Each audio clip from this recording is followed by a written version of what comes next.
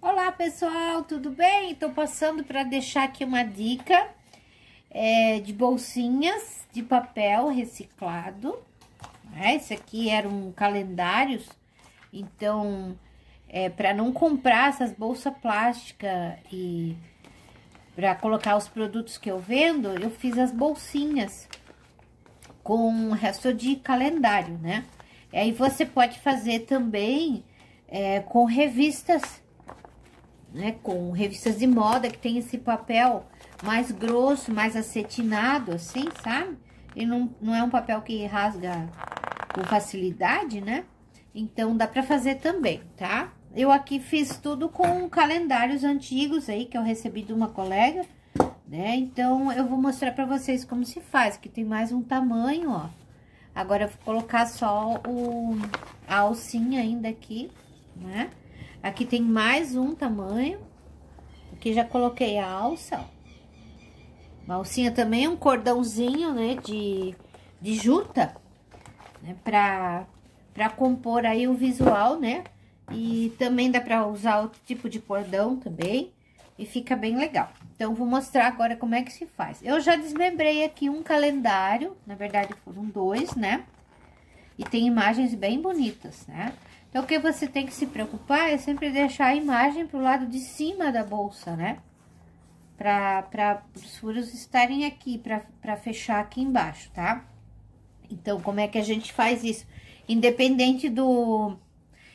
Independente do, do tipo de papel, do tipo de papel, do, do tamanho do papel, né? É, a dobra sempre é a mesma, né? Então, eu vou pegar, virar esse, esse papel aqui, deixar o lado branco pra cá, fazer uma pequena dobra aqui na extremidade, né, superior.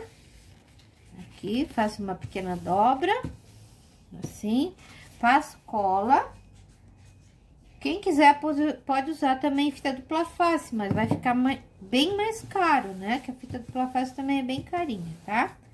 Isso, feito isso, ó Agora, eu vou pro, mais ou menos pro meio do, da folha aqui, ó. E faço uma dobra. Depois, eu faço mais uma dobra aqui, ó. Não, não importa se aqui, ó, tá bem no meio ou não, tá? Importante que tá mais ou menos aqui no meio. Então, aqui, até essa folha já me permite ter uma marcação, né? Bem interessante, para poder fazer a próxima dobra aqui tá? Então, faço aqui a próxima dobra. Tá fechado já a, a embalagem, né? E agora, eu vou pra parte de baixo dela, aqui, ó, o fundo da embalagem, né?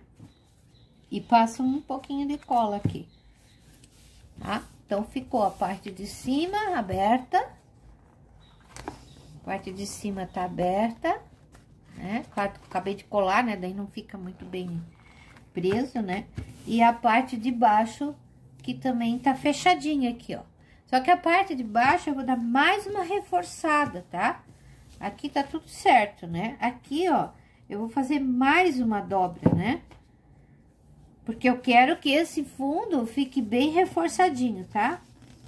Então, pode fazer isso depois de seco também, a, a próxima dobra, né? Não tem problema. Pronto, assim eu fiz mais uma dobrinha aqui no fundo, né? Pra ficar mais reforçado, tá? Tô fazendo rápido aqui por causa do vídeo, que eu não quero que fique muito extenso, né? E agora, como é que eu vou fazer a parte pra furar, né? Então, eu dobro aqui no meio, não preciso apertar, né? E aí, pego o perfurador de papel, aqui, ó.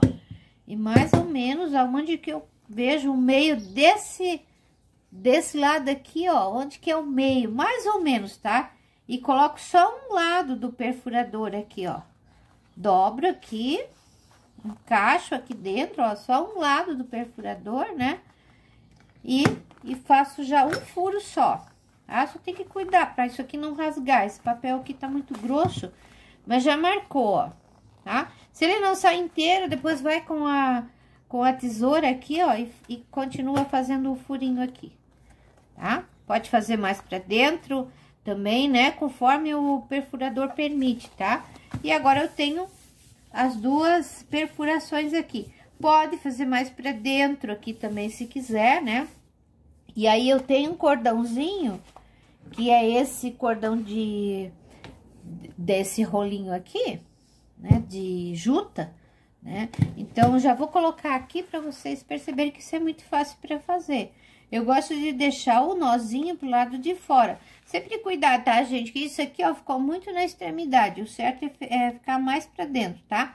Eu só fiz agora bem rapidinho pra vocês perceberem aqui como é que a gente faz, tá? Costumo dar dois nozinhos aqui na pontinha, ó, pra não escapar, né? Vamos lá, vamos pro outro lado. Dois nozinhos também.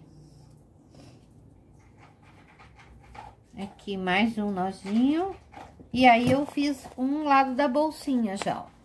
Tá? Depois é só fazer o outro, né? E daí, ela fica com esse aspecto aqui, ó. Aqui eu fiz bem pequeno, porque a folha era menor, né? Então, ele fica bem interessante, tá?